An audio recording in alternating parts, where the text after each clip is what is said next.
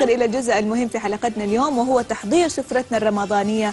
نرحب بالشيف ضحى اللي أكيد محضرت لنا اليوم حاجة مميزة ومختلفة بأن المطبخ اليوم حيكون ملكك بالكامل يا ضحى.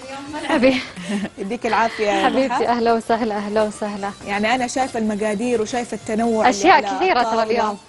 فمرة شيء حلو إنه يكون اليوم مطبخ كامل من ضحى لأنه أنت متميزة بوصفاتك وبطبخاتك. فإيش محضرت لنا اليوم يا ضحى؟ اليوم حضرت لكم بشاميل. طيب وسلطة كذا فيها أشياء حلوة ولذيذة. طب مقادير نبدأ أول. شيء؟ نعم. في المقادير؟ على السريع. على السريع. طيب آه أول شيء ال- ال- المقادير لحمة مفرومة.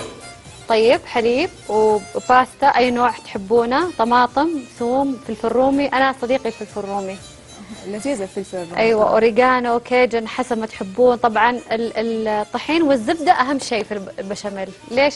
يلا. عشان النكهة. عشان إيش؟ البشاميل نفسه. صح. أيوه. هو البشاميل أصلا ال roux أنت قولي ما تحدي. اليوم. إحنا البشاميل اساسه اللي هو إن الرو اسمه الرو.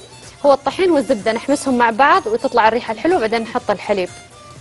هو أساس البشاميل عشان كذا يعقدها. طيب. بس في بعض ال- الناس يا ضحى يستخدمون بدل ال- الزبدة زيت. أنا ما أشوف إنه لذيذ وأحس. يفرق في النكهة. صح. لا يفرق مرة يفرق. يفرق في كل شيء. كل شيء إذا حطيت شيء بدالة يتغير الطعم. والله حتى طيب. لما تغير الحليب مثلا تحط زيت ولا تحط حليب قليل الدسم إنه برضه ما يطلع كله. لذيذ أقول لازم لك. تعمل الدسم مع السمن ولا الزبدة. بس الحركة الحركة هي أهم. لا نغير بس نتحرك. طب نبدأ. تفضل. طيب في الوصفة. إحنا الحين مجهزين المكونات أوكي؟ آه حنبدأ الحين. آه عندنا طبعا حليب وكريمة طبخ أنا أحبهم اثنينهم. آه. حلو. طيب عرفتوا كل المكونات؟ اي خلاص. أحس ضحى من كثر ما تسألنا عندها شيء لنا. عندها اختبار. عندها شيء بتحفظنا. اختبار. لا آه صدق صدق. ما أدري أنا أحس المطبخ في البيت القدر اللي يطبخ عبارة عن حب. ما أدري. الله. صح. يعني أحس كذا لازم في قدر يطبخ في حب في أحس الأكل مو مجرد وجبة. صح. يعني هي ترى كان شيء يجمع العائلة غير الحين طبعا الجرس يرن ويجي الأكل من برا. مختلف. أول شيء حنسوي الكشنة اللحم البولونيز.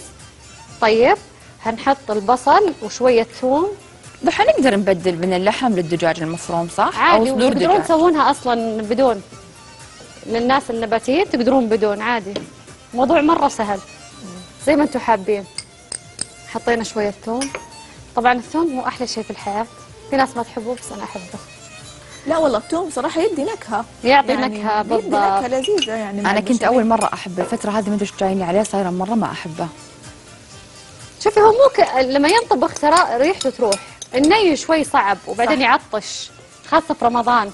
واللي بيروح المسجد كذا فصعب نحط له ثوم. الحين حطينا هنا البصل والثوم واللحمة.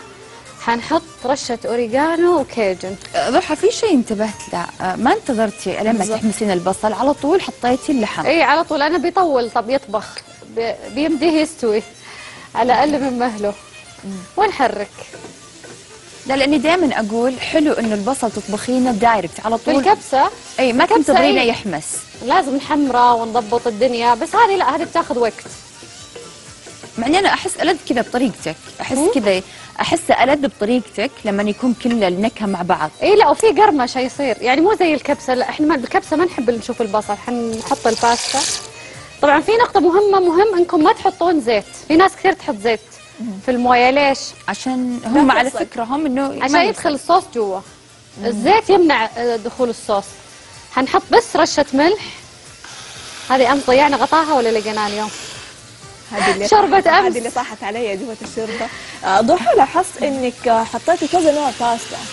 إي حطيت ثلاث أنواع. أنا أحبها كذا. أنا هذه أقدر نقدر المكرونة. نشكل يعني مو هذا حيستوي قبل ده وكذا. أنا أقدر شيء اسمه باستا. أقدر. مكرونة. أحس إنها يعني لما أكون زعلانة إنها تضمني حنونة علي تراضيني والله صادقة. وفي نقطة مرة مهمة مويه الباستا ما نكبها. يعني هي فيها النشا. يعني حتى ال- fettuccine Alfredo برا بس يحطون الباستا وشوية زبدة وبرمجان وال- والمكرونة. بس إحنا نحط كريمة. كريمة ونحط أشياء. أيوه. هناك ما يحطون. مهمة مويه المكرونة مرة. بس حنحركها عشان ما تلصق. حتحطي ملح بس بس اللي حطيتيه ملح ما في زيت ولا شيء بس الملح. بس اي مويه وملح بس فقط لا غير. في نقطة مهمة؟ في نقطة مهمة قلتيها يعني أول مرة أدري عنها إنك ما تحطين في الباستا زيت علشان عشان الصوص يدخل. إيه. أصلا الصوص حيغلف الباستا فحيمنع الصوص يدخل عرفتي؟ إيه. الزيت نعم. واصلا إذا حركتيها هي ما تلصق بكل الأحوال.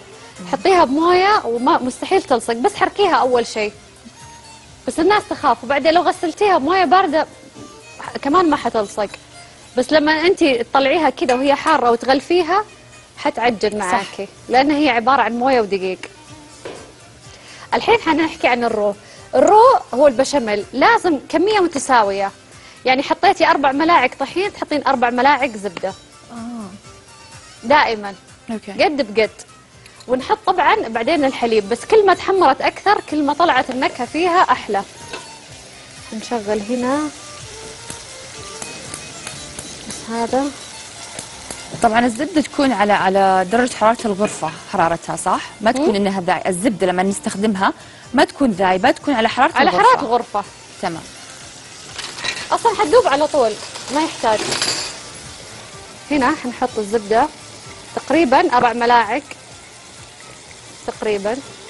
وعلى طول نحط الطحين لأن الزبدة تحترق على طول. إحنا دائما الزبدة نحط معاها زيت زيتون عشان ما تحترق علينا. والطحين ونحمرهم. وححط شوية أنا هنا آه، أوريجانو وكيجن. ممكن تحطون بودرة ثوم ممكن تحطون فلفل أبيض. في ناس تحط جوز الطيب أنا ما أحبها. طيب أنا أحب الأكل كذا يكون بيسك. طيب شيف ضحى على بال ما تحمري يلا. طبعا ال- الوصفة واكيد حنرجع لك أكيد. خلينا نطلع فاصل سريع وحنرجع نكمل معاكم سوالفنا وطبختنا